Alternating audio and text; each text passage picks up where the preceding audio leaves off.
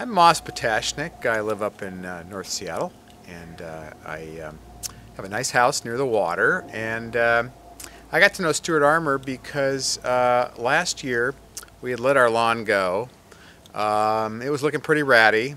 My wife, uh, Peg, said, you know, this lawn has to go. Either it, it goes completely or we get plastic. We're going to put in a plastic lawn because I can't tolerate looking at this lawn anymore.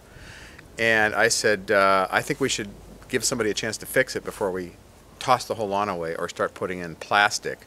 She said, okay, well, this is your last chance because we're not going to have a nice house and a nice yard overlooking the water and have a ratty looking lawn. So I went online and I, um, I found out about Stewart Armour um, through the web and I read some reviews. They sounded very positive.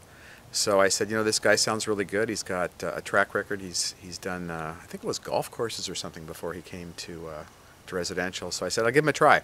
So I called Stewart. He came out, and uh, my wife now thinks that Stewart uh, is a magician because he came here, thatched, aerated, seeded.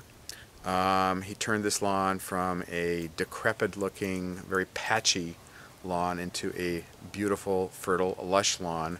And my wife now uh, thinks Stewart is a miracle worker. So I couldn't be more pleased.